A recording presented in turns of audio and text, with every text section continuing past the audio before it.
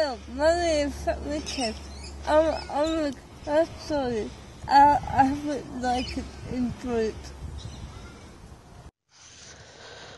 A long time ago in a magical kingdom there lived a princess named Annabel. Annabel was in love with a peasant man named Chris. The king was sad because a princess was not allowed to marry a peasant man, and he wanted Annabel to be happy. So the king went searching far and wide. He travelled across deserts, through jungles, and into caves. In the very last cave at the edge of the kingdom he found what he was looking for. He found a scroll that would release a genie so that the king could make a wish. The king wasted no time and opened the scroll to call the genie.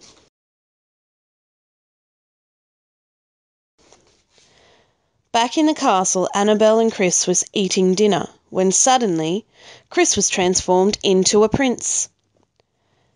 This made everyone happy because it meant that they could get married. Everyone except for Prince Philip. Prince Philip wanted to marry Annabel to get control of the kingdom. So, Prince Philip used magic to make the princess and Chris forget each other.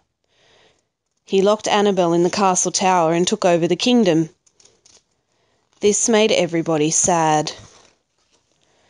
This went on for a long time. The king was still making his way back to the castle. He did not know yet what Prince Philip had done. Chris had gone back to his life on the streets.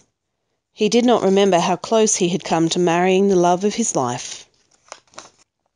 When the king returned, he found his city had been run very badly.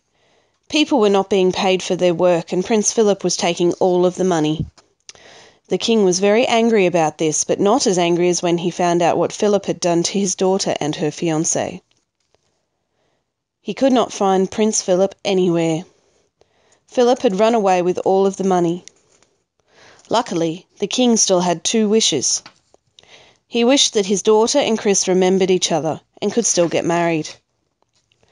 He also wished that Prince Philip would take Annabel's place in the castle tower but he would not be Prince Philip any more.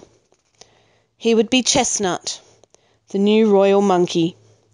And so everything went back to the way it was, and everyone lived happily ever after. Well, almost everyone.